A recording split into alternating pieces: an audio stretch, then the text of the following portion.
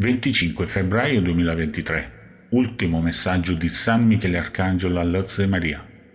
Nazioni che possiedono armi nucleari conoscono il male che causeranno. Anche in questo messaggio donato da San Michele Arcangelo all'Ozze Maria si descrive un periodo estremamente difficile per molte nazioni e si accenna a una guerra nucleare che viene portata avanti da coloro che sanno benissimo il male che causeranno al mondo intero un messaggio molto preoccupante, in cui il principe delle legioni celesti ci invita a pregare il Santo Rosario e a invocare la Divina Misericordia, che spesso viene dimenticata. Chi ha fede in Dio può sperare di salvare la sua anima, ma bisogna comunque pregare per tante persone affinché possano convertirsi. Leggiamo il messaggio. Amati figli del nostro Re e Signore Gesù Cristo, Vengo a voi per volontà divina, vengo con le mie legioni angeliche. Figli del nostro Re, Signore Gesù Cristo, siete amati dal vostro Re, siete amati dalla nostra Regina Madre. Vi invito a riflettere sui vostri atti e sulle vostre azioni. La vita consapevole della Quaresima è una benedizione per l'anima della creatura.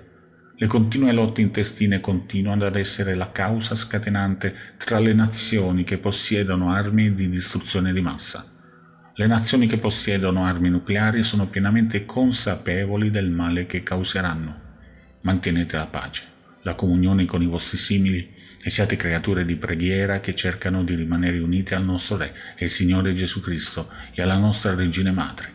Pregate, figli del nostro Re e Signore Gesù Cristo, pregate per la Francia che soffre molto per il fuoco dei rifiuti.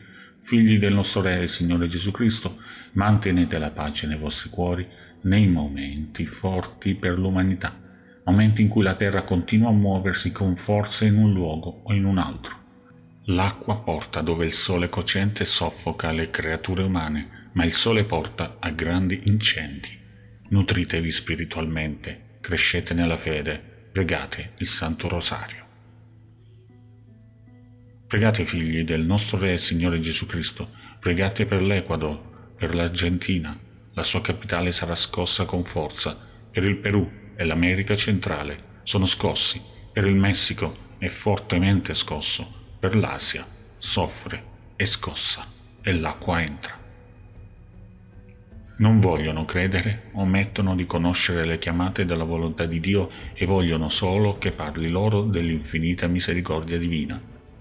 La divina misericordia è infinita e solo la Santissima Trinità sa fino a che punto si realizza in una creatura umana, senza dimenticare la nostra Regina Madre della Divina Misericordia, intercessore per tutta l'umanità.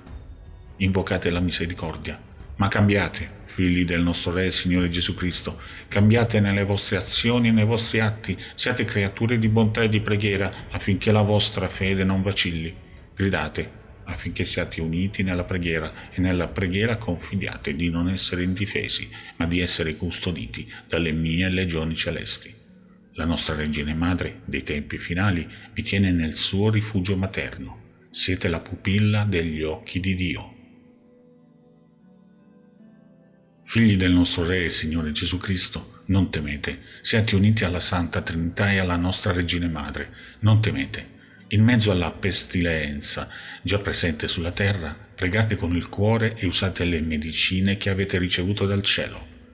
Allora la pestilenza sparirà e voi sarete sani. In mezzo alla carestia, le mie legioni porteranno alla creatura umana il cibo che soddisfa la fame. Non temete, Dio non vi abbandona. Le mie legioni sono pronte ad aiutarvi. La casa paterna è donata ai suoi figli Tenete presente che il bene è più grande, anche quando vivete in mezzo alla guerra. Il bene è più grande e sperimenterete veri miracoli. Vi lascio nella pace divina. Vi benedico. San Michele Arcangelo e le mie legioni angeliche. Ave Maria Purissima, concepita senza peccato.